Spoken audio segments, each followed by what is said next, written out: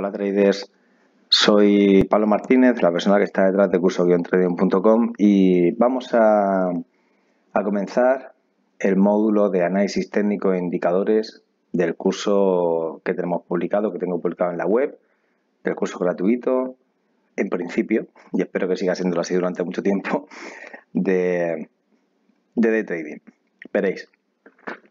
El análisis técnico es, eh, bueno, yo imagino que llegados a este punto aún no hemos visto ningún gráfico, y, pero vosotros probablemente sí lo hayáis visto. Y eso, eh, lo primero que se viene a la cabeza cuando alguien, una persona que ha visto pocos gráficos o que no está acostumbrado al mundo del day trading, es, ¿y esto qué es? ¿No? ¿Esto por dónde, por dónde se coge? Mm, ¿Cómo, ¿Qué son esas líneas? ¿Cómo, ¿Por qué no una línea? El, precio se representa con una línea, con una barra, con una vela, qué son las velas, qué tipo de velas hay, qué significa la vela. Perdonad por las dos. Pues veréis, el análisis técnico es la disciplina que se encarga de ayudar a los traders a analizar el, analizar el precio. Cuando digo analizar el precio me refiero a analizar los gráficos. ¿vale? El gráfico es el lugar donde se muestra la cotización actual de un activo Da igual que sea una acción, una materia prima, que sea Forex, que sea una criptodivisa, lo que sea, ¿vale? Todo se representa en un gráfico. Este módulo lo he dividido en, tres puntos, ¿vale? Eh, que es como los gráficos, que es el análisis técnico, en los que se diferencia dos subdisciplinas, el análisis chartista y el análisis técnico basado en indicadores, y luego que son las velas y los patrones de velas, ¿vale? Bueno, eh, realmente lo de las velas lo he, puesto en el punto 2, lo he cambiado el orden de, presentación porque creía que iba a ser más didáctico ¿no? Eh, hacerlo así. Veréis, eh, ¿cómo leen los gráficos? Bueno, vamos a ver. hay varios tipos de gráficos. Cuando vemos un gráfico, el precio representado en un gráfico, lo podemos ver básicamente de tres formas. La primera de ellas es mediante un gráfico de líneas, luego un gráfico de barras y luego un gráfico de velas. Lo de las velas quizás suene más, ¿no? Si estás empezando en esto del day trading y habréis leído algo de velas, de lo que son las velas japonesas, la Heiken Ashi o no sé. Me imagino que esto de las velas ya os empezará a sonar. Veréis, un gráfico eh, se puede representar eh, de esta forma, con líneas, ¿vale? Y esto es lo que solemos ver, pues, no sé, esta captura creo que la hice de Google Finance, Finance, creo que se llama, así dicho en castellano, en castellano barato, en inglés barato, mejor dicho. Pero bueno, esto lo podéis ver en cualquier página web de cotización bursátil, eh, cualquier página web de relacionada con noticias económicas, en las que pues ellas te representan simplemente pues el valor del precio eh, mediante una línea. Y luego abajo, abajo o al lado, donde sea, te dan otros otros mm, datos interesantes de ese activo. Eh, durante la sesión del día. Esto, o sea, por ejemplo, la apertura, el máximo, el mínimo, el cierre anterior, el alto de 52 semanas, el bajo de 52 semanas, que son así, pues, los indicadores más significativos, ¿no? Eh, esta es una forma de representarlo, pero como veis, esta eh, da información, pero da poca información para poder hacer day trading. ¿Vale? Eh, por eso los gráficos de líneas no se suelen usar para hacer day trading. Quizás para hacer trading a largo plazo sí, ¿vale? Eh, o swing trading en semanas, meses, pero para hacer day trading y scalping, desde luego no. Luego tenemos otro tipo de gráficos, ¿vale? Que son los gráficos de barras. Y diréis, ¿qué es esto? Bueno, pues esto aunque no lo creáis, es lo mismo que lo anterior, solamente que de otro activo y representado de otra forma con gráficos de barras. ¿vale? Aquí, cada, cada intervalo temporal, cada vela representa un, un margen temporal, una ventana de tiempo. ¿no? Este gráfico la verdad es que no recuerdo de con qué temporalidad lo saqué, pero imaginad que este gráfico es de un minuto, que es lo que yo suelo operar, ¿no? Para hacer scalping. El gráfico de un minuto y cada una de estas velas representa un minuto, es decir, comienza un minuto, las 15.00, ¿vale? Y empieza. Y entonces esta vela empieza a formarse, sube, baja, o sea, abre en un precio, sube, baja, oscila. y cuando termina ese minuto se cierra la vela, termina de moverse esa vela y se empieza otra vela. Igual, un precio de apertura, oscila, sube, baja, hace máximos y mínimos y al final cierra. Y a continuación otra vela. Y así se van formando los gráficos de, de minuto, ¿vale? Si fueran de 5 minutos, pues sería exactamente igual, pero cada vela tendría una duración pues de 5 minutos. Hay varios bueno, depende de la plataforma que uséis, pero los gráficos se, se pueden representar en intradía, en temporalidades. Pues bueno, hay algunas plataformas que te permiten eh, pintar velas de segundos, ¿no? Pero las temporalidades normales suelen ser de un minuto, cinco minutos, quince minutos, media hora, una hora, cuatro horas, ocho horas y ya pasa el día, ¿vale? Días, semanas y meses, bueno, ya incluso años, por supuesto. Bueno, pues este gráfico que estáis viendo aquí es un gráfico de barras. Este no sé si os sonará. El que más os va a sonar probablemente, aparte del de líneas, que es el primero que hemos visto, es el de velas, el de velas japonesas, que es el que vamos a ver a continuación.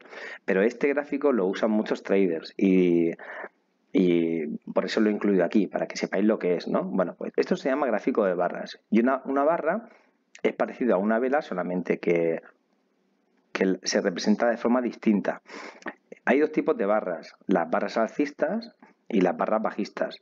Las barras alcistas, ¿cuáles son? Pues esta, ¿vale? Una barra alcista es una barra que tiene un precio de apertura, es decir, en el segundo 1 del minuto, suponiendo que sean velas de minuto, eh, barras de minuto, perdón, eh, la barra empieza aquí, abre aquí, ¿vale? Entonces, ¿qué pasa? Que durante ese minuto la barra oscila, porque el precio es activo, vamos a imaginar que hablamos de una acción de Facebook, por ejemplo, ¿vale?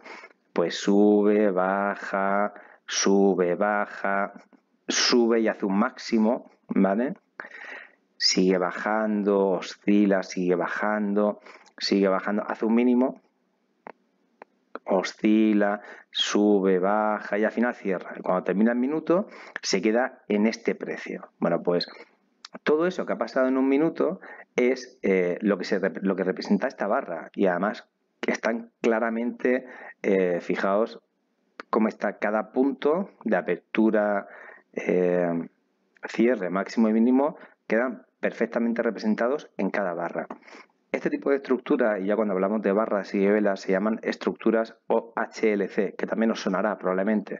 Esto es una estructura de open, abierto, high, máximo, low, mínimo y C de close, ¿vale? Open, high, low, close. Abierto, máximo, mínimo y cierre. Que en el caso de una, de una barra alcista es de esta forma. Y en el caso de una barra bajista es de esta otra. Una barra bajista es una barra que abre a un nivel de precio, como veis aquí, oscila marcando máximos y mínimos durante ese minuto, pero cuando se acaba el minuto, la barra termina con un precio inferior al de apertura, ¿vale? Por eso se llama, esta es una barra bajista, ¿vale? Es la, o sea, como veis, la estructura es igual, solamente que en la alcista el precio abre aquí y cierra a un nivel superior y en la bajista es al revés, ¿vale? Tiene un precio de apertura superior al precio de cierre. Se suele representar de varias formas. Eh, veréis eh, formas de las alcistas en blanco y negro, por ejemplo, y las bajistas en negro. O mejor dicho, las... Es, mm, que los colores varían de cada plataforma, pero siempre hay, hay dos colores, uno para identificar claramente una barra alcista y una para identificar claramente una barra bajista, ¿vale? Con las velas pasa exactamente igual cada, es que cada plataforma lo pinta de una forma distinta, azul y rojo, blanco y negro, verde y rojo, yo qué sé, ¿vale? Pero bueno, que sepáis que esta es una forma de, representar eh, por colores también este tipo de barras, pero la estructura es la misma, la estructura OHLC eh, es la misma, ¿vale? Seguimos con las velas japonesas, esto ya va a sonar un poco más. Eh, mirad, la vela japonesa es esto. Esto es un gráfico de la plataforma que yo para que yo uso para operar. Y bueno, esto ya es un gráfico de velas, ¿vale? Y además se llaman velas japonesas o candlesticks, también se llaman así, por eso lo veréis. en muchos sitios escrito así. Eh, hacer un comentario. La parte que veis aquí abajo es una parte de... Esto es el volumen, que es un indicador que yo uso en mi gráfico, pero que no tiene nada que ver con las velas en este punto de la explicación, ¿vale? Veréis, eh, e-, esto es un gráfico de velas. Como veis, representa, nos ofrece más información que el gráfico de líneas que hemos visto en primer lugar, ¿vale? Y eh, quizás sea un poco más sencillo de entender que, o por lo menos a mí me lo parece, será porque lo uso, ¿vale? Estoy más acostumbrado a ver gráficos de este tipo que los, gráficos de barras. Los gráficos de velas japonesas son de esta forma, son se representan, eh, representan el precio de esta forma y aquí también se distinguen dos tipos de velas eh, que son tienen una estructura OHLC porque todas las barras y las velas la tienen evidentemente y lo que pasa es que se representan de forma distinta. ¿Veis? Aquí la vela tiene un cuerpo. Este cuerpo es el que me permite ver visualmente, como veis aquí en el gráfico, por lo que ha pasado, ¿no? Y el volumen que se genera también en, la vela por la amplitud que ha cogido en, en precio la vela, ¿vale?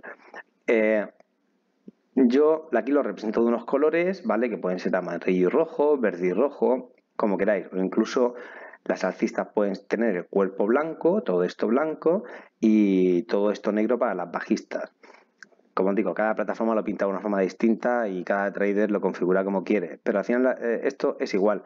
Una vela alcista es aquella que abre aquí, tiene un precio de apertura eh, inferior al precio de cierre. Es una vela alcista.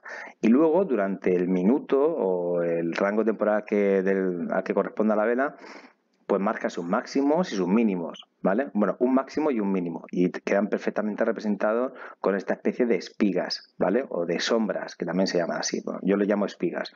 Una vela bajista, ¿cuál es? Pues aquella que abre a un nivel de precio y cierra a un nivel de precio inferior al precio de apertura, ¿vale? Y se representa pues, de color negro, de color rojo, en definitiva, de un color distinto al de las alcistas, ¿vale? Y por supuesto tienen un máximo y un mínimo, ¿vale? Eh, esta es la estructura OHLC de este tipo de velas, de velas japonesas o canlestic, ¿vale? Estas velas, aunque no lo creáis, o quizás sí, pero cada no cada vela, no todas, ¿vale? Pero hay algunas velas que son, adquieren especial importancia hasta el punto de que tienen un nombre propio, ¿vale? Y se llaman de una forma. Ojo, y significan una cosa, ¿vale? Por ejemplo, esta vela que tiene, esta vela es una vela alcista, ¿vale? Porque es verde, tiene un precio de apertura aquí, la vela se ha movido, ha marcado un mínimo y ha cerrado justo en el máximo. ¿Veis que no tiene espiga de máximo? Porque ha cerrado justo, el precio de cierre es este nivel, ¿vale? Abre aquí en este nivel, es donde abre, la vela se mueve, oscila, hace un mínimo aquí, sigue moviéndose y al final termina cerrando coincidiendo con el máximo de la vela, ¿vale? Esta vela se llama martillo eh, y tiene o hammer, ¿vale? En inglés, que también probablemente lo hayáis oído, y tiene un significado concreto y luego lo veremos. Otro tipo de velas, pues es esta, es esta vela, ojo, esto es una vela japonesa, ¿eh? A lo mejor parece que es una barra, una que pertenece a un gráfico de barras, porque si os fijáis, además podría serlo perfectamente, pero no, hablando de velas japonesas, eh, velas que no tienen cuerpo, es decir, que no tienen esta vela es una vela en la que el precio de apertura y precio de cierre es exactamente el mismo. ¿Vale? Por eso está una línea solo, o sea, todo coincide aquí en esta línea, en esta línea negra, ¿vale? Esta vela se llama eh, doji, ¿vale? Doji o doji, depende de a quién se lo oigáis pronunciar. Y también tiene un significado, ¿vale? Y ahora después veréis a lo que estoy hablando, de lo que estoy hablando. Eh, las velas eh, se interpretan así, ¿vale? Es decir, tú ves un gráfico con velas y ya por lo menos sabes pues qué significa cada vela, el precio de apertura, de cierre, el máximo, el mínimo, el tamaño de la vela también es importante, ¿vale? Em, y, eso se usa en, en, análisis técnico y en análisis del precio para, para intentar detectar posibles o futuros comportamientos del precio. Me explico. Hemos visto lo que son las velas y que sabemos que hay algunas velas que tienen nombres propios, ¿vale?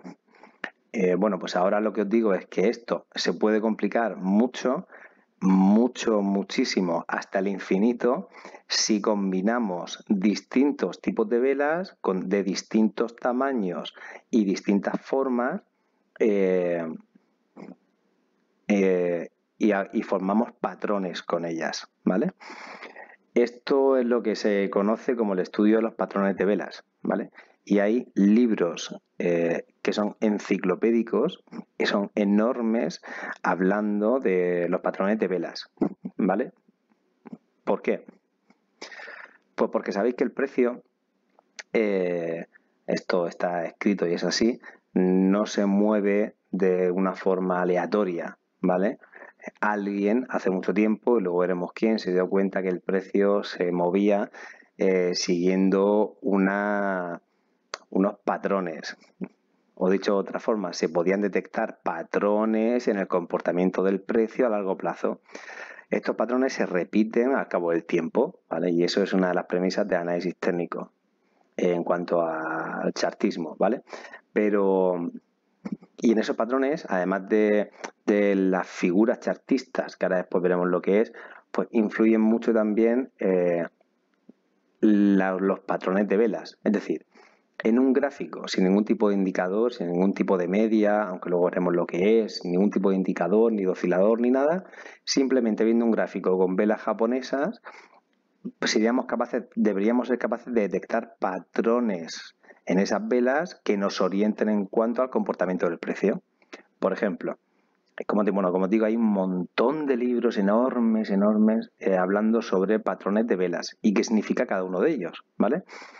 Os pongo un ejemplo. Los patrones, bueno, a grandes rasgos, ¿vale? Los patrones de velas eh, japonesas se clasifican en cuatro grupos. Uno, patrones de cambio de tendencia alcista. Otro, patrones de cambio de tendencia bajista. Y eh, idem con patrones de continuación alcista y patrones de continuación bajista. ¿Vale? Por ejemplo, os pongo eh, aquí he puesto tres ejemplos, ¿vale? ¿Qué es un patrón de cambio de tendencia alcista?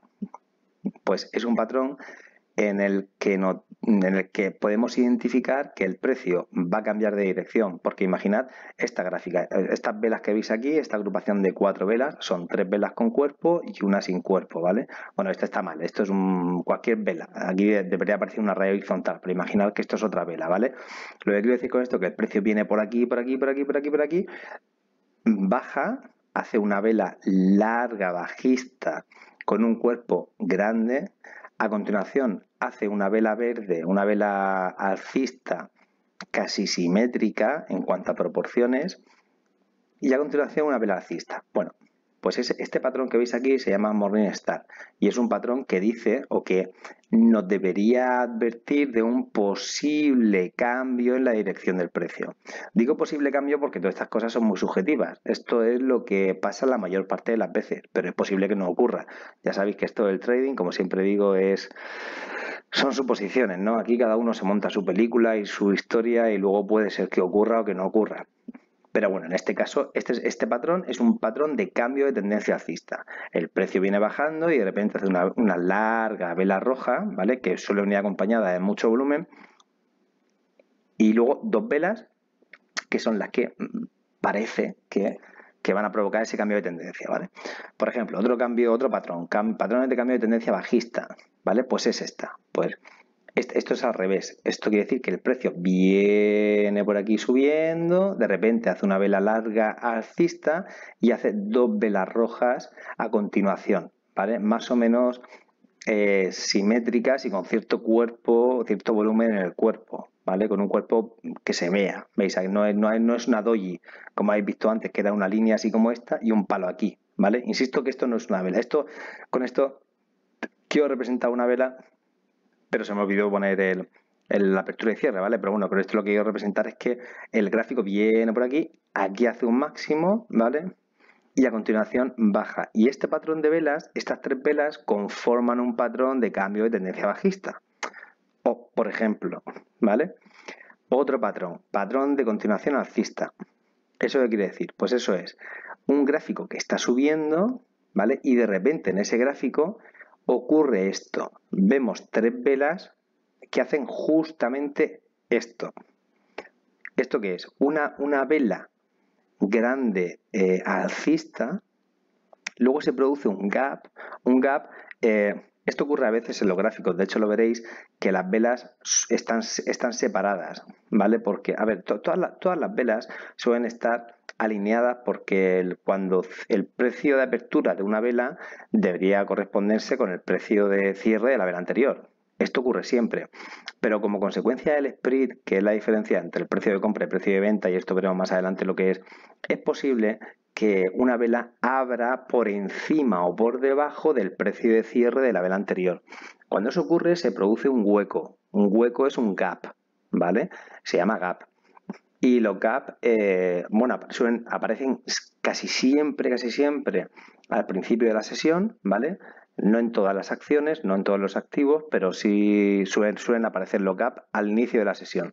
¿Por qué? Pues porque hoy, por ejemplo, Face ha abierto con un gap alcista del 2% respecto al precio de ayer. ¿Eso qué significa? Pues que ayer cerró a un precio y hoy ha abierto la vela. Ahí tú ves la vela de cierre de ayer y la ves a un nivel. Y hoy ves la siguiente, la vela de apertura de hoy, ¿vale?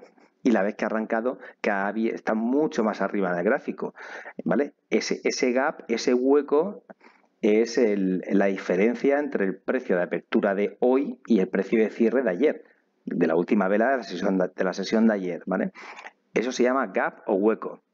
Bueno, pues esta estructura de continuación alcista lo que dice es que cuando ocurre esta vela, una vela grande que hace un máximo, se produce un gap, es decir, veis que esta vela abre aquí, o sea, esta vela ha cerrado aquí, justo donde, donde está el ratón, ¿vale? Y la siguiente vela debería haber abierto, ¿dónde debería haber abierto? Debería haber abierto justo aquí, a este nivel, pero no, fijaos lo que ha hecho, ha abierto aquí.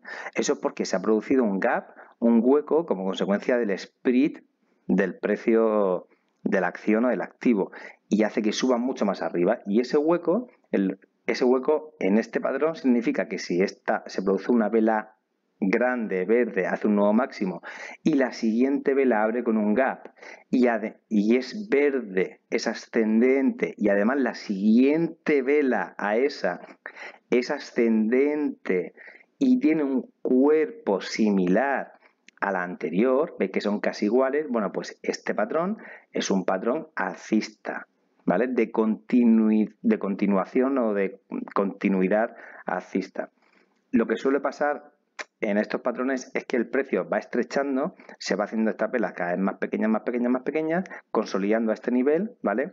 Esto es lo que se conoce, esto es un, triángulo ascendente. Si tiramos una línea horizontal por aquí y luego hacemos así, un triángulo, ¿vale? Pues el precio estaría encerrado en ese triángulo y llegaría aquí a este punto siempre sin sobrepasar este precio, ¿vale? Este nivel de precio de aquí, imagina que tiramos una línea horizontal por aquí iría estrechando, tocando esta línea, esta línea horizontal, y al final haría un breakout. Y haría así, y sigue para arriba. Y haría una vela grande también, que es lo que se conoce como breakout. Y es una forma de operar y hacer scalping. ¿Vale? Bueno, pues como veis, estos son algunos patrones. Eh, ejemplos de estos patrones de estos cuatro patrones principales, ¿no? Pero hay muchos más patrones y hay muchos más ejemplos y tipos de, configuraciones de estos patrones. Em, no pretendo, no soy un experto en análisis técnico, sé lo que es y lo he usado, ¿vale? Eh, y, he estudiado algo de esto. Yo no lo aplico, aplico a lo mejor algún concepto. Cuando veo una doji, pues, pues sí sé que una doji puede ser una... Es, cuando aparece una doji significa que va a ocurrir algo, que es lo que yo siempre digo, ¿no? Eh, tenemos que estar atentos a momentos en los que sabemos que podemos identificar de una forma sencilla en los que pueden ocurrir cosas, ¿no? Bueno, pues uno de ellos es cuando aparece una vela doji. Eh, yo ahí sé que puede haber un giro en el precio, que puede haber un cambio de tendencia, por ejemplo, ¿vale? Y eh, también cuando el precio se acerca a la media de 200, como sabéis, aunque esto lo veréis más adelante, o al BIGWAP o a las medias rápidas que, yo uso, pues bueno, son momentos en los que pueden pasar cosas, entonces tenemos que estar atentos para aprovechar ese posible movimiento, ¿vale? Em, como digo, dentro de las velas japonesas hay un montón de literatura, son las velas más usadas para representar, para representar el precio, son las velas más usadas en los gráficos Y si os interesa este tema, eh, yo recomiendo que busquéis literatura porque la hay, hay un montón de artículos en webs explicando con muchísimo detalle qué son los patrones de, velas. estudiarlo, profundizar en el tema todo lo que podáis y todo lo que os interese y luego llevarlo a la práctica.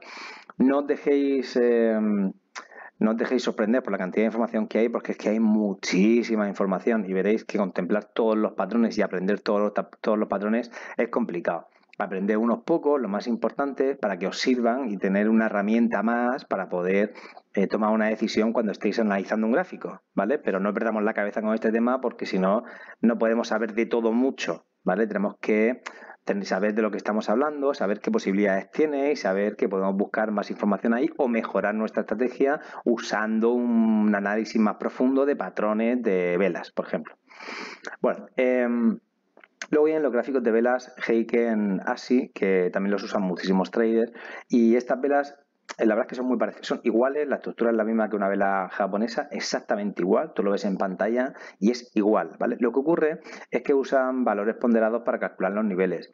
El motivo de, mm, de usar estas velas es porque una vela, si esto lo veréis cuando operéis o si habéis visto algún vídeo, veréis que las velas, sobre todo si son de minuto, se mueven muy rápido y puede resultar a ser incluso mareante, ¿vale? Bueno, hasta que te acostumbras a ello, ¿vale?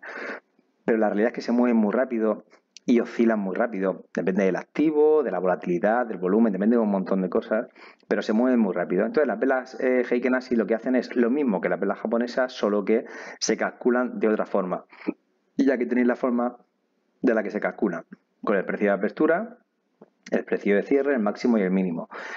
Eh, con esas fórmulas eh, muy sencillas eh, se calculan y se generan en tiempo real en el gráfico las velas Heikenasi. Son unas velas, como si dijéramos, eh, menos estresantes que las velas japonesas. Eh, yo personalmente no las uso, nunca las he usado además. He visto trader en vídeos que la usan, pero yo no la uso. Entonces, bueno, si os interesa este tema podéis buscar vídeos y documentación sobre velas Heikenasi, aunque como digo yo, para hacer scalping, la verdad es que no, no se usa. Para hacer scalping tienes que ver el precio tal cual, en, eh, el segundo, en ese instante y cómo se está comportando la vera. Al final es entrenar, entrenar, entrenar hasta que tu cabeza se acostumbra a usar ese tipo de velas y, a usar la vela japonesa, me refiero, y a, ver el gráfico, ¿no? Estos son horas y horas de entrenamiento, ¿vale? Bueno, eh, ya sabemos eh, cómo se representa el precio en los gráficos y es sencillo, yo creo que nos ha quedado claro. Se representa con gráficos de líneas, de barras o de velas. Y las velas pueden ser japonesas o heiken así, ¿vale? Japonesas son candlestick, que también se llaman así. Pues ya tenemos el gráfico, ya tenemos representado el precio, ya tenemos que saber qué, qué información nos da un gráfico, cómo leemos los gráficos, ¿no? Bueno, pues que sepáis que un gráfico puede ser de tres tipos fundamentalmente. Un gráfico puede ser un gráfico alcista, el precio se puede mover de una forma alcista. Una forma alcista es esto. Vamos a empezar en este punto, ¿vale? Bueno, en este, la verdad es que da un poco igual. Una tendencia alcista es la forma que tiene el precio de moverse consiguiendo eh, nuevos máximos y haciendo mínimos ascendentes. A ver, eh, no os quiero confundir con esto. Lo que está claro es que el precio tiene una tendencia alcista cuando sube, ¿vale? Bueno, pues el precio, y también hay muchas teorías, sobre todo la teoría de las ondas de Elliot, que, lo, podéis, lo podéis consultar. Eh, pero básicamente lo que dice es que el precio se mueve, el precio, que son estas velas japonesas que veis aquí, se mueve describiendo ondas, es decir, el precio hace un movimiento alcista, por ejemplo, desde aquí abajo hasta aquí. Luego corrige este movimiento bajista, ¿vale? Que veis aquí, aquí el precio baja, eso se llama una corrección. Por eso escucharéis a muchos traders que dicen, voy a esperar una corrección o un pullback, ¿vale? Un pullback es esto, es que el precio llega a un nivel y hace un pullback y se, le da vuelta el precio, ¿vale? Mm, se mueve en dirección contraria. Bueno, pues en una tendencia alcista el precio se mueve de esta forma. Hace un impulso alcista, hace una corrección o un retroceso, también se llama así, hace otro movimiento alcista, que es este, si seguís el ratón lo veréis, a continuación hace una corrección aquí, hace otro movimiento alcista, hace otra corrección, hace otro movimiento alcista, hace otra corrección, ¿vale? ¿Cómo se describen los movimientos alcistas o las tendencias alcistas? No porque siempre haga nuevos máximos, que también debe, o sea, mm, lo normal es que hagan nuevos máximos. Pero una tendencia alcista se describe como un movimiento del precio en el que va describiendo nuevos mínimos ascendentes. ¿Veis? Aquí tiene un mínimo el precio. Hace una corrección aquí y es un mínimo, pero este mínimo es mayor que este. Está claro, mínimo ascendente. En este caso no, ¿vale? Aquí parece que intenta, intenta hacer un pullback fuerte, pero no lo consigue. Pero el siguiente mínimo es un mínimo ascendente. ¿Vale? Está un poquito por encima del, del anterior mínimo. Y así es como se describe una tendencia alcista. ¿Vale? Se van describiendo, se van creando mínimos ascendentes, ¿vale?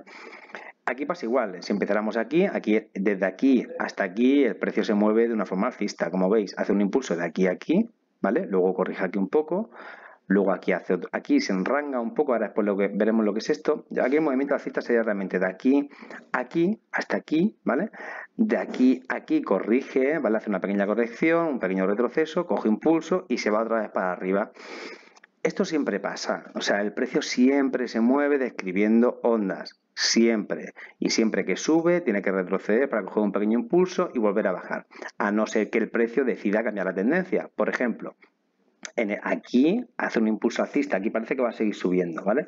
Pero toda tendencia alcista tiene que, tiene que terminar, tiene que terminar para hacer la corrección de toda esa tendencia, ¿vale? Una cosa son las correcciones dentro de la tendencia, que son estos impulsos. Esto es un impulso, esto es una corrección, ¿vale? Una pequeña corrección que hace que el precio vuelva a subir.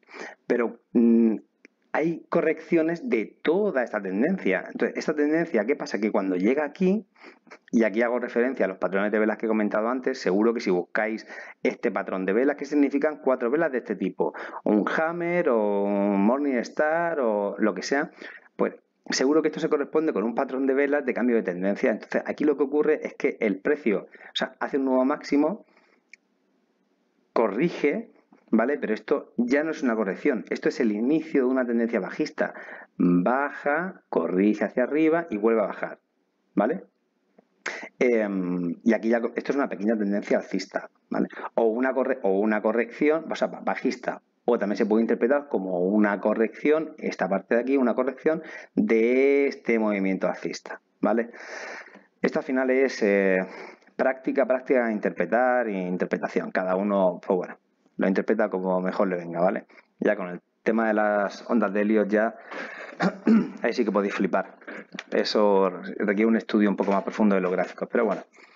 Otro ejemplo de tendencia alcista, pues este, ¿vale? Este Facebook, por ejemplo, hace un movimiento alcista aquí, luego hace un retroceso aquí, como veis, eh, luego hace otro impulso alcista aquí, aunque también podría ser aquí, aquí corrige, coge fuerza otro impulso, aquí corrige, ¿veis? Otro impulso. Lo importante es que el precio se ve claramente que está subiendo y que va haciendo mínimos ascendentes, ¿vale? Eso también está claro. ¿Qué es una tendencia bajista? Bueno, yo creo que más o menos ya os ha quedado claro. Una tendencia bajista es aquella en la que el precio describe un movimiento, un movimiento a la baja, ¿vale? ¿Y qué hace el precio? Pues igual, empieza una tendencia bajista. Empezamos aquí, ¿vale? Hace este movimiento bajista corrige, hace una pequeña corrección alcista para coger impulso y volver a bajar, ¿vale? Termina este impulso, hace un nuevo mínimo, perdón, hace un, nuevo máximo descendente en este caso, coge impulso y vuelve a bajar, ¿vale? Bueno, pues esto es una tendencia bajista. ¿Por qué se, cómo se suelen describir? Pues son tendencias en las que el precio se mueve a la baja y va describiendo máximos que son estos descendentes. Esto es un máximo, el primero de la, tendencia, hace movimiento bajista, corrige, hace un retroceso, que es todo este trayecto de aquí, hace un nuevo máximo aquí, como veis, pero es descendente respecto a este, al anterior, vuelve a bajar, vuelve a subir y hace aquí un nuevo máximo eh, descendente respecto al anterior y así sucesivamente, ¿vale? Otra tendencia bajista, pues esta, que esta a lo mejor es más complicada de ver, pero al final es lo mismo. ¿Veis? El precio, esto es Alibaba, ¿vale? Entonces, mm, bajista, baja, sube, el máximo no es superior al anterior, por lo tanto, sigue bajando, ¿vale? Y sube y sigue bajando. Todo esto es un movimiento bajista. el movimiento bajista es hasta aquí, ¿vale? Eh, eh, otro gráfico, otra tendencia bajista, simplemente para que lo veáis. otra tendencia bajista en FOLD, creo que era esta, esta acción, acción de una farmacéutica, ¿vale? Bueno, pues aquí, ¿esto qué? Pues igual, empieza aquí el movimiento bajista. Bueno, la verdad es que empieza aquí arriba porque es cuando inicia la sesión, pero em, vamos a hablar desde aquí. Desde aquí viene, baja, hace una corrección, que es todo este movimiento de aquí, hace un nuevo máximo, pero con muy poca fuerza, como veis, porque cierra la vela bajista al final, eh, hace un nuevo máximo descendente, vuelve a bajar hasta aquí, ¿vale? Hace un nuevo mínimo, corrige otra vez, hace un nuevo máximo aquí, pero descendente respecto al anterior y vuelve a bajar, ¿vale? Esto es un movimiento alcista. Luego puede ser también que el precio en un gráfico pues esté en, eh, esté en rango, que esto es cuando decimos que el precio está en rangado, ¿vale? Porque el precio está en rangado quiere decir que se mueve dentro de unos niveles de los que no puede salir, ¿vale? Por ejemplo, esto es Baba, Alibaba, otro gráfico, eh, en el que aquí vemos que el precio, si tiramos una línea horizontal, bueno, eh, aunque no sean las correctas, porque debería ser una línea horizontal más pegada al precio, pero si veis esta línea de, este punto, esta línea de, de puntos, ¿vale? De rayitas, podría ser nuestro rango temporal nuestro, nuestro, perdón, nuestro rango de precio. Veis que el precio empieza aquí, o sea, aquí hace un movimiento, aquí viene a hacer un movimiento y de repente llega aquí y el precio hace así, se mueve muy poco, se mueve muy poco, muy poco. Si pintara aquí un rectángulo, lo podría pintar así, así, así, así. Ese precio ese rango de tiempo en el que el precio se está moviendo, para mí, es, yo digo que el precio está en rangado, se mueve en rango, ¿vale? Hay algunas estrategias de trading que operan este tipo de movimientos del precio. Eh, operan en rango, porque si identifican un rango, pues saben que si el precio cuando llegue a esta línea horizontal que yo tiro yo dibujaría aquí, ¿vale? O a ese nivel de precio, pues yo sé que si el precio está en rango, cuando llegue aquí arriba, ¿qué va a hacer el precio? Pues bajar hasta el nivel inferior del rango. Pues yo aquí abro un short, abro un corto y ganaría algo desde aquí hasta aquí, ¿vale? Cuando tocara la línea de abajo, ¿qué haría? Pues lo mismo, mm, pero al revés como yo sé que está en rango y debería subir hacia, eh, hacia la línea del rango superior, pues abriría un long, un largo y ganaría algún céntimo en ese movimiento del precio buscando la línea superior del rango en la que teóricamente debería rebotar, ¿vale?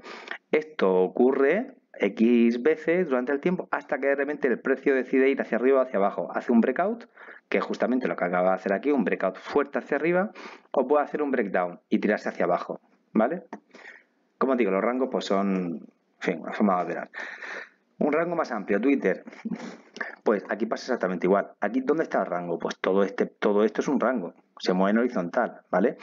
Veis que viene a hacer un movimiento, en este caso bajista. Todo esto es un movimiento bajista, ¿vale? Fijaos. Y de repente el precio entra aquí y empieza pum, pum, pum, pum, pum, pum. Y se mueve dentro de un rango. Si yo tirara dos líneas horizontales, una por aquí y otra por aquí, pues verías que eso es mi rango, ¿vale? Y yo sé que el precio está rangado, que se mueve poco, que tiene poca volatilidad, ¿vale? Es decir, que no fluctúa mucho el precio. Eso es un precio en rango o en rangado. A veces, a mí me ha pasado un montón de veces, entro en una posición buscando un breakdown o un breakout, eh, sobre todo breakdown, operaciones a la baja, que es lo que me gusta operar a mí, y lo hago, y de repente lo hago y el precio no se mueve, se mueve muy poco, muy poco, y estoy ahí esperando que pasen cosas durante minutos. Y digo, madre mía, me he quedado pillado en esta acción. Quedarse pillado es entrar en un rango, ¿vale? Porque si tú no quieres operar un rango y entras y te ves dentro de un rango, pues es una faena porque tienes que esperar a que el precio se decida hacer algo, romper a la alza o a la baja. O, puedes tomar la decisión de cerrar la operación. Ya mira, el precio está rangado, paso de estar aquí media hora esperando a que el precio decida qué hacer, ¿vale? Bueno, pues una vez que ya sabemos lo que es eh, un gráfico, la forma de representar un gráfico, las formas de pintar el precio dentro de ese gráfico y, sabemos más o menos eh, qué significa que el precio tenga una tendencia alcista, bajista o está enrangado, es el momento de hablar de lo que es el análisis técnico. Como decía o sea adelantado al principio del módulo, el análisis técnico es la disciplina que permite estudiar un activo mediante gráficas con la intención de predecir futuras tendencias del precio, ¿vale? ¿Por qué? Pues porque el precio, como ya os comenté, también alguien descubrió eh, al principio de la historia del análisis técnico, el análisis técnico es muy bonito, ¿vale? Es muy bonito y también hay muchísima literatura de análisis técnico. Yo creo que hay más que de las velas, ¿vale? De los patrones de velas. Eh, es muy bonito porque, y lo que hace es darse cuenta de que el precio no se mueve de una forma aleatoria, sino que se mueve siguiendo unos patrones que son eh, fácilmente identificables, ¿vale?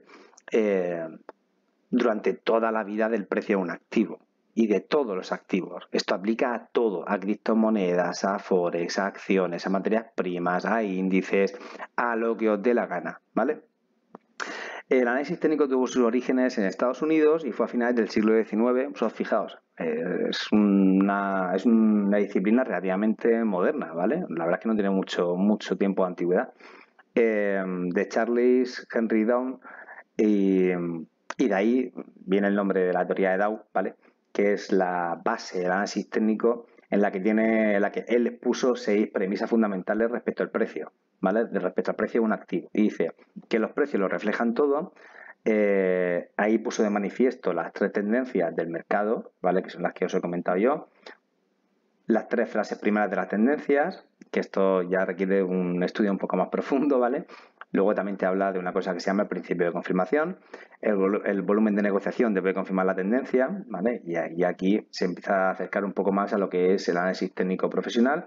Y la tendencia estará vigente hasta su sustitución por otra tendencia opuesta.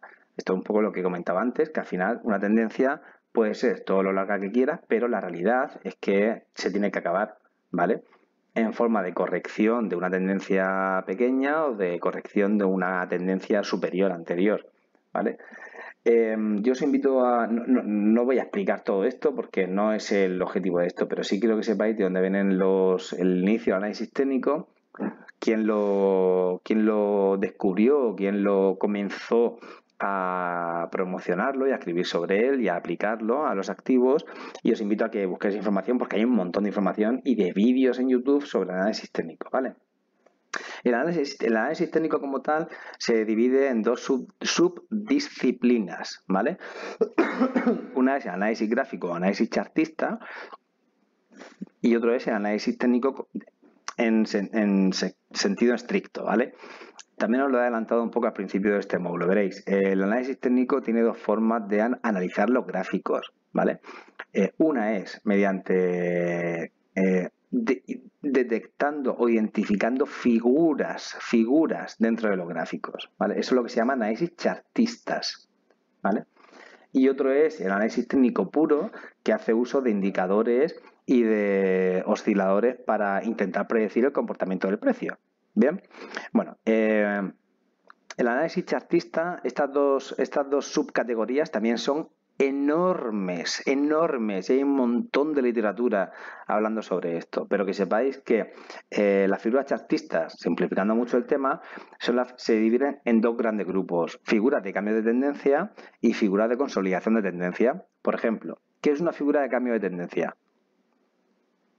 Pues de igual modo que habían patrones de cambio de tendencia en las velas, pues en todo el gráfico en sí, o sea, si cogemos un conjunto más amplio de velas y sin considerar eh, el, cuerpo y la forma de la vela, solamente los máximos y los mínimos, ¿vale? Se pueden distinguir, se pueden identificar en los gráficos figuras de cambio de tendencia del tipo doble techo, doble suelo, triple techo, triple suelo, hombro, cabeza, hombro, eh, hombro, cabeza, hombro invertido, eh, sopera invertida, sopera. Estas figuras de cambio de tendencia, eh, aquí mezclo las de cambio de tendencia bajista y las de cambio de tendencia alcista. Por ejemplo, el doble techo. El doble techo es una figura de cambio de tendencia que dice y que, y que mm, intenta predecir que el precio, cuando aparece esa figura en el gráfico, el precio va a bajar. Y además también estudia cuánto va a bajar el precio. Esto os puede parecer raro, pero es así, ¿vale? Una figura de doble suelo, pues es la contrapuesta al doble techo. Cuando aparece una figura de doble suelo en un gráfico, eh, lo que se pone de manifiesto es que la probabilidad de que se produzca un cambio de tendencia y vaya hacia arriba, ¿vale? Eh, mm, se incrementa. Incluso te llega a decir cuánto va a incrementarse el precio, cuánto va a subir el precio, ¿vale?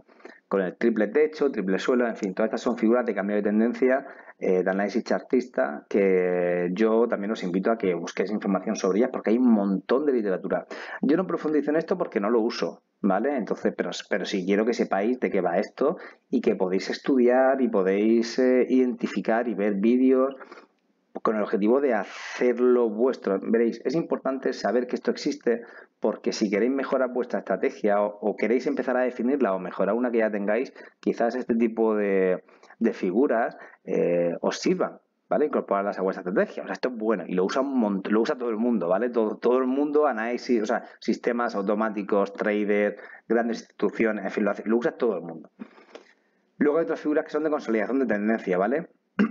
consolidación de tendencia es que en la tendencia, imaginando un activo que el gráfico esté marcando una tendencia alcista y de repente el precio es como que se enranga, pero ese cuando se enranga está describiendo una figura, ¿bien? Y esas figuras entre las que está el rectángulo, ¿vale? Porque si el precio está subiendo y hace un rectángulo y hace un rango, que es lo que hemos explicado antes, es posible que siga subiendo, ¿vale? Que haga un break al rectángulo y suba. Y además sube, teóricamente, el análisis técnico chartista te dice que el precio va a subir cuando se rompe un triángulo o un rango, eh, la proyección del precio es la misma que la altura de ese rectángulo.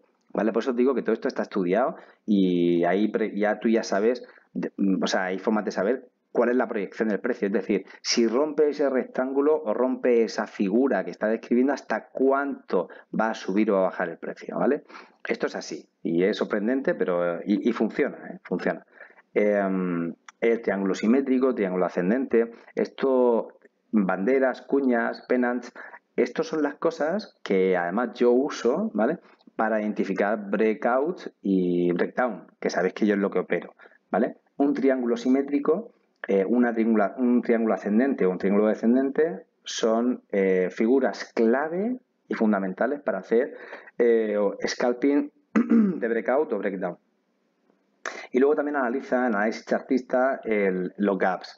Esto no lo describo, o sea, no, no, hay nada más puesto debajo de análisis de gaps porque ya sabéis lo que es un gap. Lo he explicado al principio de, de este módulo. Un gap es un hueco que se produce entre la apertura de una vela el precio de apertura de una vela y el precio de cierre de la vela anterior. Y esos gaps se producen como consecuencia del spread que tiene ese activo. El spread, ya sabéis que es la diferencia entre el precio de venta y el precio de compra, y eso ese spread fluctúa durante toda la sesión eh, y hace fluctuar, eh, o sea, fluctúa eh, en el precio del activo y es posible que un activo o una acción abra un spread muy grande en momentos de mucha volatilidad y mucho volumen. Entonces, eso es lo que hace que se produzcan estos gaps. Como os decía, los gaps se suelen producir sobre todo en la apertura de mercado. ¿Vale? Porque como consecuencia de las noticias o porque una compañía, noticias económicas cuando hablo de Forex, pero sobre todo cuando, eh, cuando hablamos de acciones, eh, sabéis que presentan informes de resultados durante todo el año, ¿no? O sea, presentan una vez al año durante todo el año. Y entonces puede ocurrir, bueno, semestrales, es que depende, ¿vale? Pero puede ocurrir que una compañía presente el informe su, informe de resultados en pre-market, es decir, antes de que abra el mercado, o a cierre de mercado. Por lo tanto, si una compañía presenta su informe de resultados al cerrar el mercado, la sesión de hoy, pues ¿qué, puede, qué va a pasar? Seguro. Bueno, seguro no, porque a lo mejor no afecta en nada al precio, pero lo que suele pasar es que si presenta hoy el informe al cerrar la sesión de hoy, pues eso va a provocar que mañana la acción, casi con toda la seguridad, habrá con un gap alcista si el informe ha sido positivo y ha sido bien recibido por el mercado, o bajista si el informe ha sido negativo y o ha sido mal recibido por el mercado, ¿vale? Em, también hay teorías para ver a los gaps. Eh, hay varias. La más eh, común y la más frecuente es una que dice que todos los gaps tienden a cerrarse, ¿vale? Es decir, si Hoy Facebook ha visto con un gap alcista del 1%, el análisis chartista dice que ese gap se va a cerrar, ¿vale? Y se cumple casi siempre. Pero el problema es que nadie sabe cuándo se va a cerrar, ¿vale? Es decir, cuando esto, esto quiere decir que si Facebook hoy abre con un gap alcista del 2% y yo hago caso, eh, me ciño exactamente a esta interpretación de, del análisis chartista respecto a los gap, que dice que los gap siempre se cierran, pues hombre, yo hoy si abre Face con un 2%, mmm, debería operar a la baja. Porque como ese hueco respecto al precio de ayer eh, se va a cerrar, pues yo opero a la baja Face y sé que ese gap, el precio va a ir bajando, bajando, bajando, bajando hasta que cierre el gap. Pero ¿sabéis lo que pasa? Que si hago eso probablemente mis stop loss pues me saquen de la operación. ¿Por qué? Porque es seguro que el gap lo va a cerrar y pasa en el 95, 98, un porcentaje altísimo de los casos, ¿vale? Pero el problema es que nadie sabe cuándo. Entonces a lo mejor hoy abre con un gap alcista, pero el gap, ese 2% de gap, lo cierra mañana o pasado, ¿vale? O sea, los huecos siempre se cierran, pero nadie sabe cuándo se van a cerrar. Por eso, esto, como digo, son, son teorías, es información, son patrones, son figuras. Todo esto tenéis que conocerlo y tenéis que leer y buscar información sobre ello porque hay información gratuita, ¿vale? Yo podría haber hecho un copy-paste de un montón de figuras, pero no lo quiero hacer por, cuestiones de derechos de autor.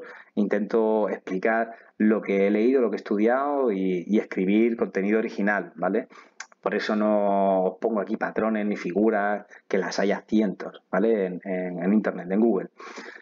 Por ejemplo, lo que sí voy a hacer va a ser, lo que sí he hecho, eh, compartir con vosotros un par de figuras de, de chartistas que son las que yo opero además. Son, por ejemplo, esto, ¿qué es un triángulo bajista? Aunque luego lo busquéis vosotros por internet y podáis leer más en profundidad. Mira, un triángulo bajista es esto. Yo las operaciones que hago de breakdown lo que busco es esto, es un, una acción que esté bajando, ¿vale? Que consolide el precio a un nivel, consolidar, mirad esta línea horizontal que he tirado aquí, tan larga, el precio, si, si, os fijáis, se acerca, se está acercando a este nivel, ¿veis? Está consolidando a este nivel y además el precio se está estrechando. Esto es lo que se llama estrechamiento y consolidación. ¿Vale? El estrechamiento es que cada vez el precio hace máximos descendentes, el precio va hacia abajo, ¿veis? Como, como si formara un triángulo, ¿lo veis? hace un triángulo, consolida aquí, ¿vale? Y cuando esto ocurre, la probabilidad de que haya un breakdown, es decir, un quiebre de este triángulo a la baja, fuerte como es justo lo que ha pasado aquí, pues esta probabilidad se incrementa. Entonces yo intento buscar estas figuras en gráficos de minutos, y esto se puede aplicar en gráficos de 5 minutos, de días, de meses, de lo que queráis, ¿vale? Y busco ese breakdown. Esto es un ejemplo claro de triángulo bajista y esto es lo que yo busco en mis operaciones, entre otras cosas, pero siempre busco patrones bajistas que me ayuden a identificar posibles breakdown, ¿vale? Yo creo que esto está claro y es sencillo. Eh, ¿Qué es un triángulo alcista? Pues mirad, aquí no lo he pintado, pero un triángulo alcista, en este caso, podría ser perfectamente esto, quizás sea un poco más complicado de ver, ¿vale? Pero podría ser, bueno, quizás mejor este, mirad.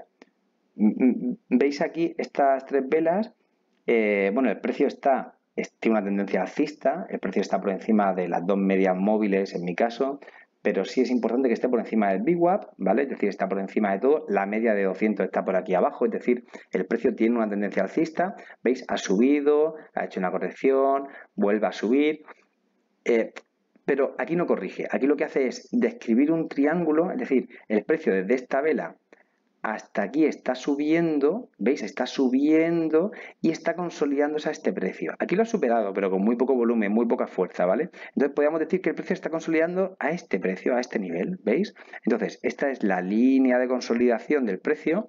El precio está estrechándose porque cada vez las velas son más pequeñas, ¿vale? Son, bueno, esto es interpretable como veis, pero aquí al final hay un triángulo. Esta es una línea del triángulo, esta, la horizontal de consolidación y luego la inclinada, el lado inclinado de estrechamiento. Bueno, pues cuando esto pasa, eh, las probabilidades de que se produzca un breakout son importantes. Pero claro, ojo, tienes que tener cuidado y tienes que ver también el level 2, que es lo que yo hago y lo explico más adelante, ¿vale? ¿Por qué? Porque tenéis que saber cuándo entrar. Si tú entras aquí a este nivel de precio, en el precio de apertura de aquí, es posible que si pones stops, ¿vale? Pues en este mínimo que ha hecho la vela, que es importante, como veis, eh, vuestro stop os saque de la operación. Por eso es importante también confirmar estas figuras y estos movimientos del precio pues, con otra información que tengas en pantalla. ¿vale? Eh, ¿Qué es el triángulo alcista? Eh, bueno, este otro ejemplo de triángulo alcista. Otro ejemplo de triángulo alcista sería, por ejemplo, este. ¿vale? Aquí veis sí, es que es difícil de ver también, yo lo entiendo, pero bueno, al final es el, precio iría subiendo por aquí un poco, aunque ya sé que es interpretable, aquí el precio baja, pero los mínimos son ascendentes más o menos, el precio está consolidando aquí, ¿vale? El precio está consolidando aquí a este nivel y de repente sube y hace un breakout, ¿vale? Eh, además, aquí también se está, no sé si lo pongo así, Aquí el precio también empieza a hacer un triángulo simétrico en esta figura de aquí, ya después lo vais a ver en la siguiente, eh, la siguiente diapositiva. Veréis, esto es un triángulo, bueno, triángulo simétrico, no, un triángulo alcista que también se llama banderín. ¿Por qué? Es cuando se produce una vela de este calibre y el precio empieza a estrecharse buscando un punto único, ¿vale? Como si fuera un punto de fuga, un punto de esa forma, antes lo que hacía era el precio se iba moviendo buscando un nivel, si todas estas velas estuvieran más arriba y tiramos por aquí una línea horizontal, diríamos que el precio está consolidándose, ¿vale? Y sería, el triángulo sería esta vela, la línea horizontal así y luego así para abajo, ¿vale? Pero aquí no, aquí se está estrechando, pero está formando un banderín. ¿Por qué es un banderín? Porque si ahora tiramos para aquí, para aquí una vela arriba o abajo, pues tiene forma de banderín, ¿no? Bueno, bueno, no, es al revés porque el banderín sería este, imaginaos que hay un palo, ¿vale? Y esto sería pues como un banderín, como el que podemos ver en cualquier fiesta, ¿no? En cualquier aeródromo tal. Entonces, cuando se producen estos banderines, la probabilidad de que el precio suba o baje también se incrementa. ¿Cuándo va a subir? Pues si se produce un banderín cuando la tendencia del precio es alcista, pues eh, la probabilidad de que haga un breakout es importante. Si, sin embargo, el banderín se genera o se crea o se forma cuando la tendencia del precio es bajista, pues las probabilidades de que haga un breakdown también son importantes, ¿vale? Eh, entonces nos tenemos que fijar en esa figura porque son momentos en los que podemos operar con ciertas probabilidades de éxito. hemos visto una subcategoría que es la subcategoría de chartismo, ¿vale? Que intenta identificar figuras, como habéis visto, y hay un montón más, como os ponía al principio, doble techo, doble suelo, triple techo, triple suelo, en fin, hay un montón, em, que intenta identificar figuras en el precio, ¿no? Pero hay otra subcategoría de análisis técnico que también es muy bonita y, muy usada, casi tanto como la primera. La verdad es que no sé cuál se usa más, pero vamos, se usa muchísimo, que es el análisis técnico basado en indicadores. Eh, veréis, em, los indicadores se obtienen aplicando unas fórmulas que pueden ser más o menos sencillas, depende del indicador. Hay indicadores comunes e históricos de análisis técnico, que son los más usados por todo el mundo, y luego también hay indicadores que cada trader o empresa de trading o broker o programador se, se diseñan porque les gusta programar, saben programar y deciden montarse sus propios indicadores y luego los venden en plataformas como MetaTrader 4, 5, eh, en fin, hay un montón de plataformas que permiten eh, programar e incorporar indicadores para que los uses, ¿vale? Eh, los indicadores hay dos tipos, aunque realmente es una sola familia, pero podemos hablar de indicadores como tales, en los que se muestra el valor absoluto, o mejor dicho, el valor en un instante determinado, y pueden ser indicadores, esos indicadores solo, ¿vale? Pero también pueden ser indicadores osciladores, que son como los eh, parecidos a los indicadores, solo que aquí en lugar de mostrar el valor absoluto en un instante. Lo que hacen es muestran un valor dentro de un rango definido en el oscilador. Dentro de la familia de los indicadores puros y osciladores puros hay cientos. Y también hay literatura sobre esto. Bueno, no podéis ni imaginar, porque aquí, además de haber tipos de indicadores, hay, hay valores para cada indicador. E incluso hay teorías sobre qué son mejores. Tú le puedes poner a una media un valor de 5 o 8, le puedes poner el valor que te dé la gana. Entonces, ¿qué pasa cuando dos medias se cruzan, una media de 50 y una de 10? Y hay algunos que dicen que no, que para Forex en gráficos de un minuto es mejor la media de 20 y la de 50. Y otros que dicen que para índices es la media de 100 y la de 200. Y hay otros que dicen que la media de 500 para... Uf, es una puta locura, ¿vale? Y con los osciladores todavía es peor porque un oscilador, eh, como representa un valor dentro de un rango eh, y la fórmula que se aplica eh, necesita una serie de variables que tú tienes que definir, pues te dice, mira macho, este es el indicador, te voy a poner un ejemplo, ¿vale? El estocástico o el RSI, y ahora después veréis lo que es. Y estos indicadores tienen unos valores por defecto, que también son, que además todas las plataformas ponen el mismo, ¿vale? Porque son los indicadores de las personas que los, que los, que, los descubrieron, ¿vale? Que eh, hicieron estudios y análisis y pusieron nombre incluso a ese indicador en concreto, pues son los valores medios en los que toda su teoría y todas las pruebas validaban un poco eh, o sea, todas las pruebas validaban un poco su teoría. Por eso hay unos valores que son típicos de los indicadores, ¿vale? Eh, pero luego esos valores tú los puedes cambiar, porque es posible que para tempolaridades de gráficos más pequeñas o más grandes, pues si tú le aplicas otros valores a, esas variables que tú puedes cambiar de los osciladores, pues funcionen mejor o te ayuden a identificar eh, oportunidades de una forma más exacta, ¿vale? Y sobre esto hay teoría también, vamos, escrita y vídeos, todos los que queráis y más que también nos invita a ver, ¿vale? Y a buscar. Por ejemplo, ¿qué son los indicadores más usados? Pues los indicadores más usados son la media simple, la media simple móvil, que puede ser una media móvil, que puede ser simple o exponencial. Yo uso la exponencial, ¿vale? Yo uso la exponencial porque considera el precio del activo en momentos anteriores y para mí es más representativa y es la que más me gusta usar. Luego hay otro indicador importante súper utilizado que es el MACD, que significa Moving Average Convergent Divergence, ¿vale? Que es el movimiento de una media convergente y divergente o convergencia. Vamos, al final es un indicador que sirve para estudiar divergencias en el precio.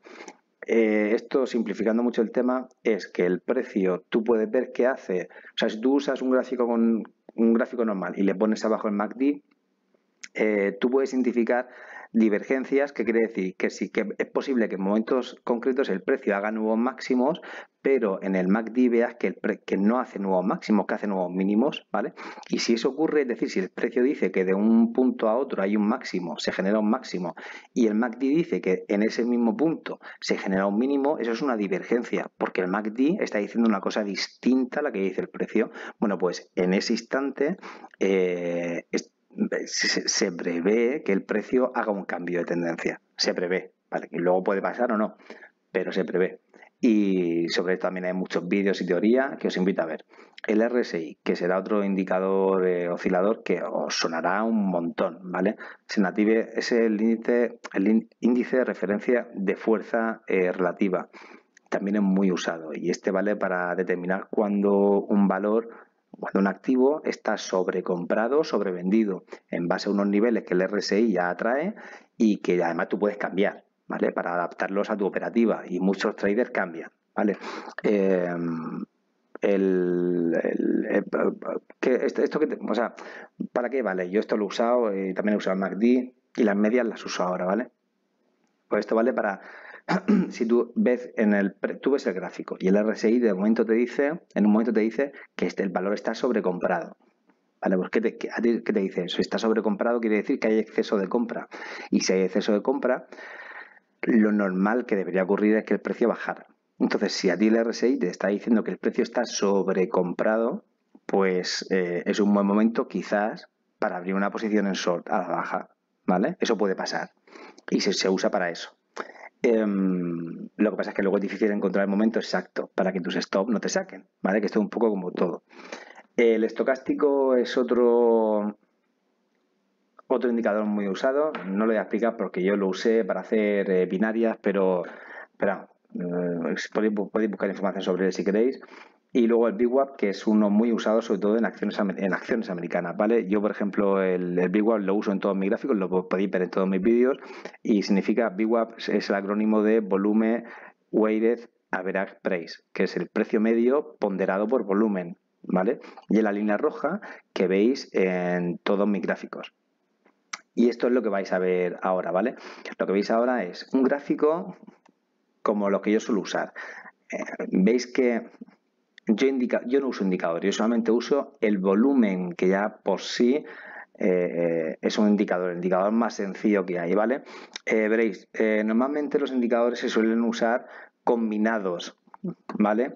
Se suele decir que tú tienes, tu estrategia tiene que estar basada en una, en unas premisas que tú veas que se cumplan unos requisitos de, de tu estrategia, pero también tienes que ver que te la valide algún indicador. Incluso hay teorías en las que te dicen, mira, si el precio hace esto y este indicador hace esto, es un signo de que puede ocurrir algo, ¿vale? Pero debes comprobarlo, debes validar ese posible movimiento que vaya a hacer el precio con otro indicador, ¿vale?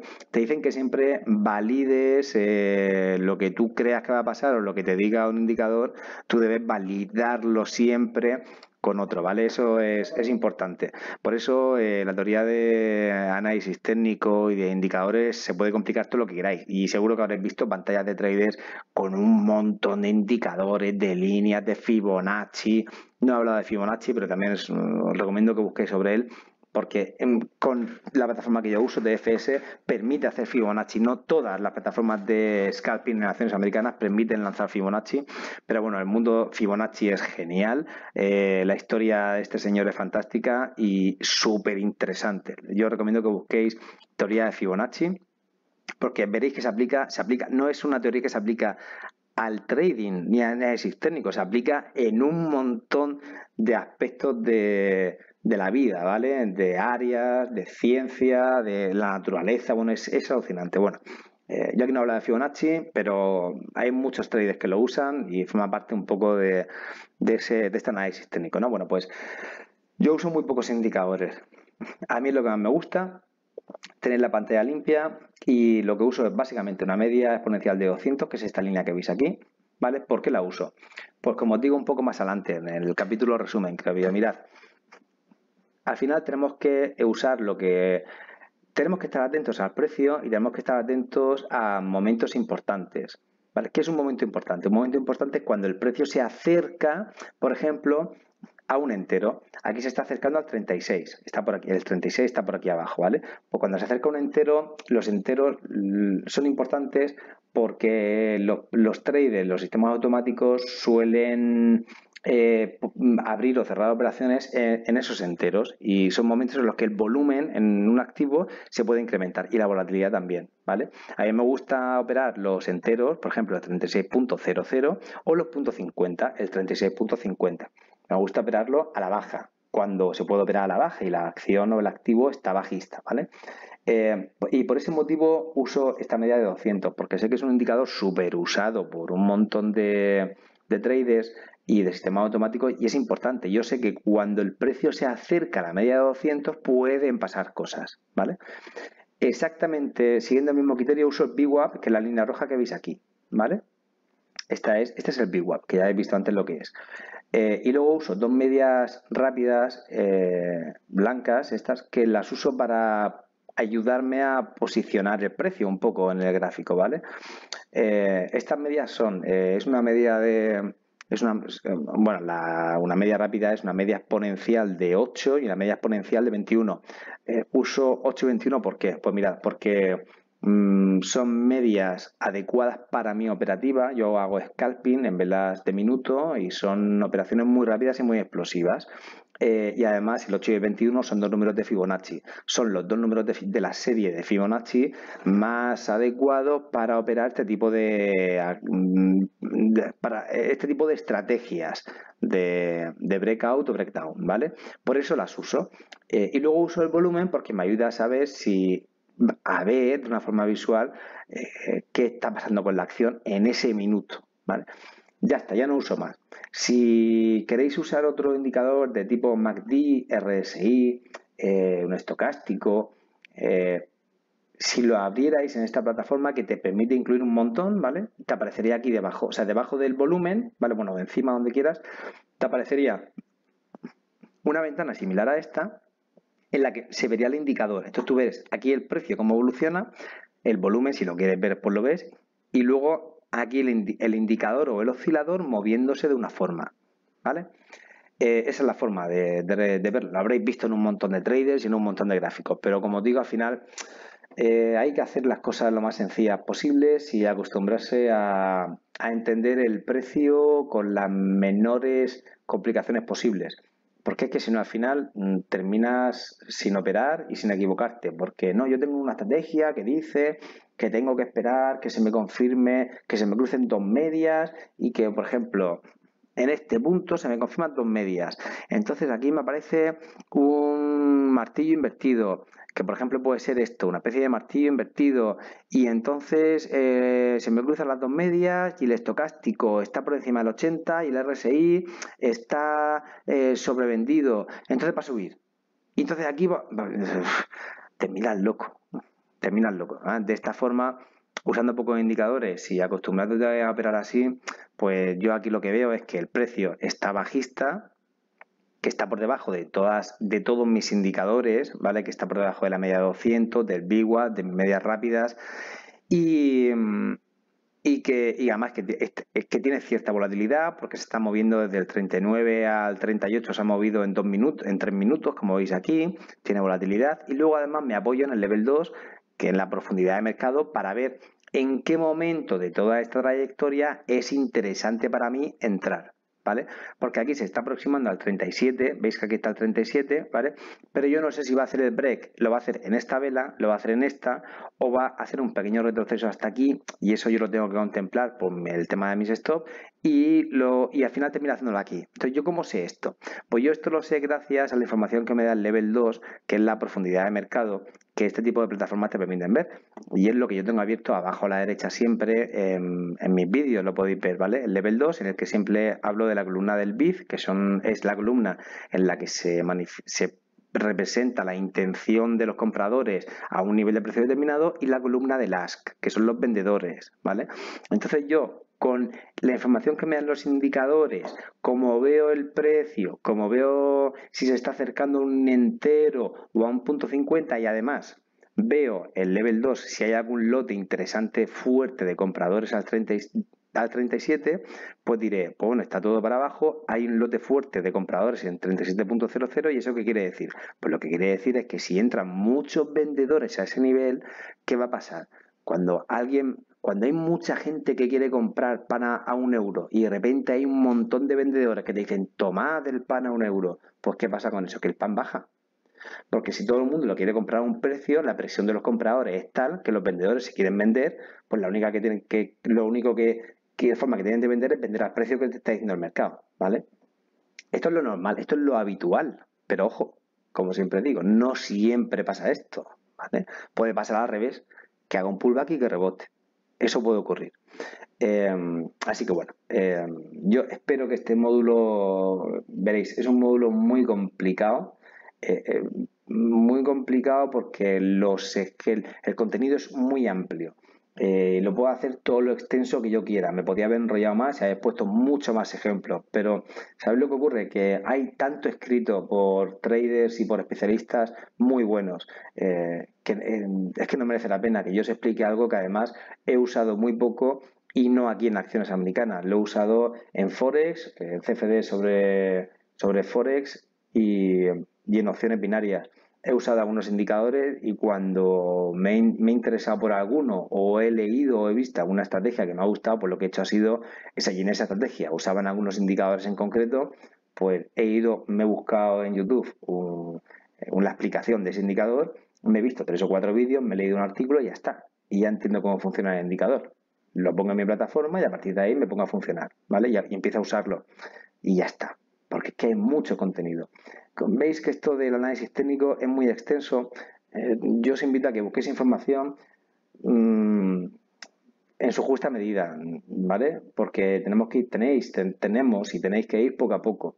No lo vais a usar todo, pero es importante que sepáis lo que son los tipos de gráficos, de líneas, de barras, de velas, lo que son las velas japonesas, la GS ASCII, la, que, cómo, cómo interpretar patrones de velas, qué es un patrón de vela, y hay literatura y libros enormes sobre patrones de velas, eh, qué son los qué son las, figuras chartistas, de qué tipo hay, eh, qué indicadores hay, eh, también saber que hay indicadores que se llaman osciladores, cómo ponerlo, qué representa cada uno de ellos, más o menos esto tiene que sonar, os tiene que sonar y tenéis que saber que eso es análisis técnico, ¿vale? Y como digo, sobre esto hay un montón de teoría y un montón de vídeos en YouTube que te lo explican exactamente al nivel de detalle máximo cada una de estas cosas, ¿vale?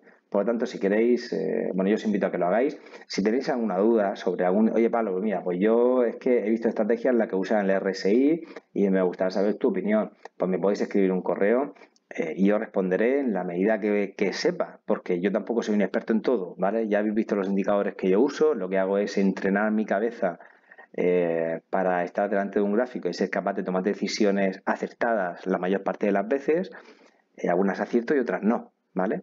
Así que, bueno, mm, este es mi correo, como yo creo que ya sabéis, ya sabes, si me quieres escribir para preguntarme algo, estás invitado a hacerlo y te responderé, por supuesto que te voy a responder con mayor o menor acierto, pero te voy a responder seguro. Espero que este módulo de análisis técnico haya sido adecuado para ti. Eh, como digo en algún vídeo, algún módulo de este curso, he hecho este curso modular y segmentado porque a corto, medio y largo plazo iré rehaciendo vídeos, ¿vale? Iré actualizando los contenidos de los vídeos, evidentemente para hacerlos de mayor calidad en base a los comentarios que me hagas o que me hagáis todos. Oye, Pablo, pues estaría bien que en el capítulo de análisis, técnico hablaran más sobre los osciladores, porque he visto estrategias muy buenas o hablaran más de los gaps, ¿vale? Por ejemplo. Y pues yo... Mm, lo recogeré, os agradeceré vuestra aportación y cuando rehaga ese vídeo, por supuesto que haré más de ello, ¿vale? Y profundizaré más sobre ese tema, sobre esa cuestión que os puede interesar a la mayoría. Eh, no voy a rayar más con este módulo, espero que haya sido suficiente para ti y te invito a que leas, estudies, porque a esto hay que echarle unas horas y, bueno, espero que haya sido útil para ti. Hasta luego.